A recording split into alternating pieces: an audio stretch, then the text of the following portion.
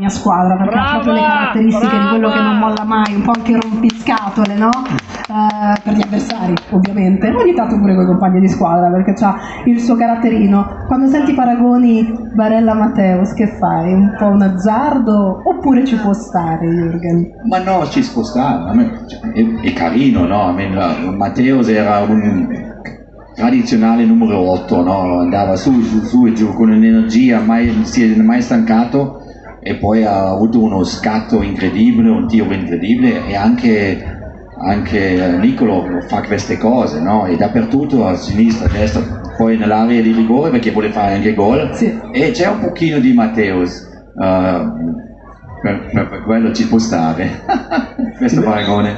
Invece il tuo ruolo oggi nell'Inter ce l'ha un giovanotto francese eh, di cui tu conosci bene il padre perché hai giocato insieme a Turan a Turan padre. C'è, intanto come, come, vedi lui, come vedi eh, Marcus, e poi c'è qualcosa di Lilian, per come l'hai conosciuto tu, in Marcus?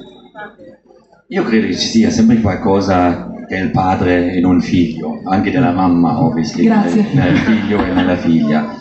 È anche giusto così. Ovviamente quando parliamo di Lilian, io ho giocato con lui per due anni uh, al Monaco, Principato di Monaco, sotto Arsene Wenger um, e l'ho visto molto giovane con Yuri Djokaev, con uh, Emmanuel Petit, questi ragazzi non erano ancora nella nazionale uh, francese che un paio di anni dopo hanno vinto i mondiali 98. Um, no, Mar- Marcus ovviamente è attaccante, uno che vuole fare gol e il papà era difensore centrale che, um, che ha fatto una carriera incredibile, um, però è, è, uno che è sempre con, con, i piedi sulla terra, sempre cioè, vuole dare tutto il suo compito alla squadra e per quello cioè, lo vedo anche bene insieme a Martinez e Lautaro come coppia oppure magari quando giocano magari in tre davanti uh, è, è un, proprio un misto ideale.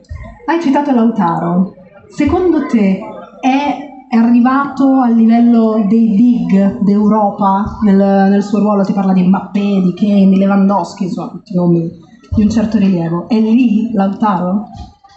È campione del mondo. e allora è arrivato nei big. No?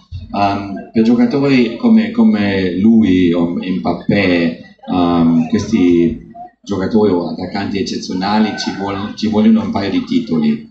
Uh, e lì con... Uh, con la Coppa del Mondo poi in Qatar uh, ha vissuto questo momento indimenticabile per lui, però ha anche uh, poi preso un po' più responsabilità quando è tornato poi all'Inter di uscire un po' più dallo, cioè, da, da, se stesso, sì.